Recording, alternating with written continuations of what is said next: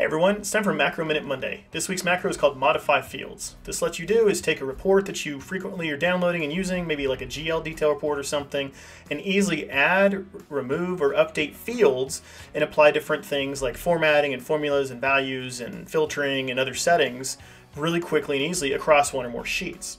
So when you run this, it creates this sheet Modify Fields, and it's going to be blank. It'll have the columns with the headers and information on how you, you know, what you're supposed to do, what's required, and you just fill that in. Now you can re-leverage this over and over again, and what it's going to do, show you what this does, once you run it again, it's going to take all of those different settings and apply them to whatever sheets you've indicated.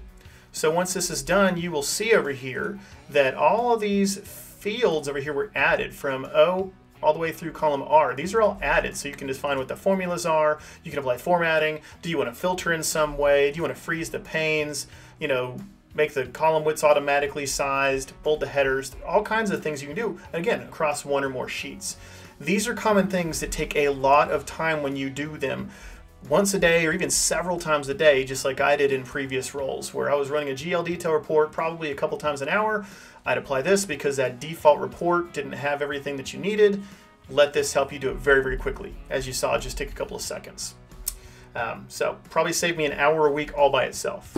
Now, the more times you run this, the more time you're going to save, the better your analysis can be. That's it for this week. Please like, comment, share, repost. Try this out for yourself, guys. It's easy. You get a free 30-day trial for this and hundreds of other macros. Thanks for watching and have a great rest of your day.